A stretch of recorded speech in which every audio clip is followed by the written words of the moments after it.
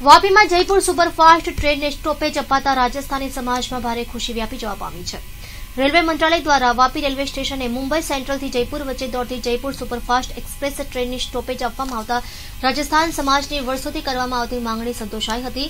આ superfast express train Vapi railway સ્ટેશને આવી પહોંચતા દમણ અને દાદરાનગર, હવેલી તથા વલસાડના સાંસદો લાલુભાઈ પટેલ, નટુભાઈ પટેલ અને ડોક્ટર કેસી પટેલ તેમજ રાજસ્થાની અગ્રણીઓ દ્વારા ટ્રેનને લીલી ઝંડી આપી પ્રસ્થાન કરાવવામાં આવ્યું હતું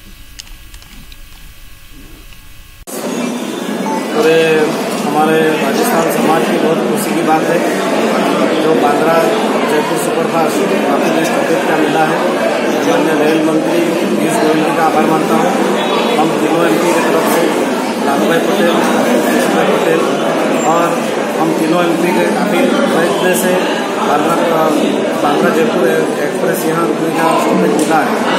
और राजस्थान समाज की जितनी और भी ट्रेन है, उनके तरफ़ से हमको कहा गया है।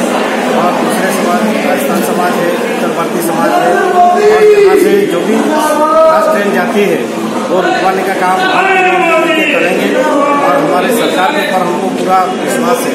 हमारे माननीय प्रधानमंत्री जी, हमारे तीनों एम के पूछते रहते हैं कि यहाँ कौन सी कौन सी ट्रेन की स्टॉपेज की ज़रूरत है और रेल मंत्री पीयूष गोयल को कहा गया है कि तीनों एम पी की जो ट्रेन, जो इम्पोर्टेंट ट्रेन है, वो जल्दी से जल्दी स्टॉपेज किया जाए।